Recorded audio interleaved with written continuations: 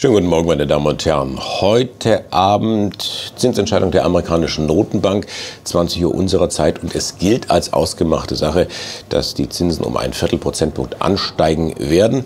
Was wesentlich interessanter ist, was die Notenbank dann sagt zum Thema Wirtschaftsentwicklung, Inflationsentwicklung, Arbeitsmarkt. Also man versucht dann herauszulesen, wie es weitergeht mit den Zinserhöhungen, in welchem Tempo, wann die nächste Zinserhöhung kommt. Trotzdem hält sich der DAX relativ stark. Wir starten etwa bei 12.800 Punkten, also noch einmal ein kleines Plus im Vergleich zu gestern. Aus Unternehmenssicht heute besonders wichtig die Hauptversammlung bei Air Berlin kriselt ja weiterhin.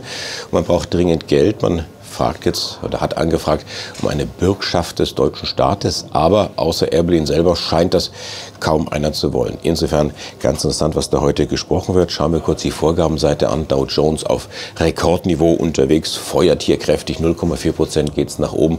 In Tokio kommt das nur bedingt an. Da tritt man mehr oder weniger auf der Stelle.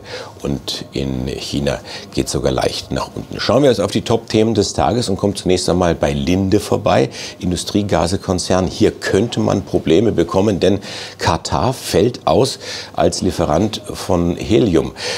Jetzt ist Katar hinter den USA zweitgrößter Heliumlieferant und macht seine Fabriken zu. Warum? Ja, wegen der Sanktionen. Saudi-Arabien macht hier die Grenzen zu oder hat die Grenzen zugemacht. Man kriegt das Helium einfach nicht außer Landes. Jetzt hat Linde gesagt, ja, das wird unsere Produktion entsprechend beeinträchtigen. Wie stark, hat man allerdings nicht gesagt.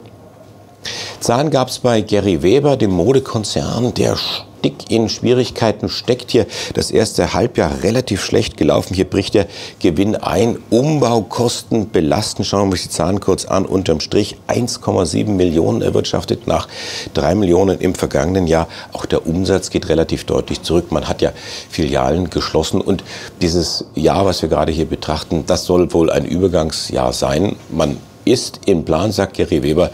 Und der sagt eben Umsatz und Gewinnrückgang. Dann haben wir noch einen Börsengang. Wir hatten bereits darüber berichtet. Fabiano, die Restaurantkette, will an die Börse gehen. Jetzt gibt es Details.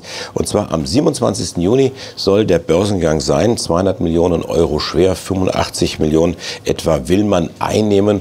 Und das stecken in die Eröffnung neuer Restaurants oder auch die Übernahme von anderen Restaurants. Wie gesagt, 27. Juni ist dann hier der wichtige Termin. Schauen wir noch kurz auf die Zahlen. DAX eröffnet mit 12.798 äh, Punkten. Dow Jones relativ deutlich im Plus gewesen auf Rekordniveau.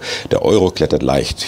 Gleiches gilt auch für den Goldpreis. Bastian Graleschka, unser Chartexperte, heute zu Gast bei Charts Co. zu DAX, Euro, Dollar und den Tech-Werten.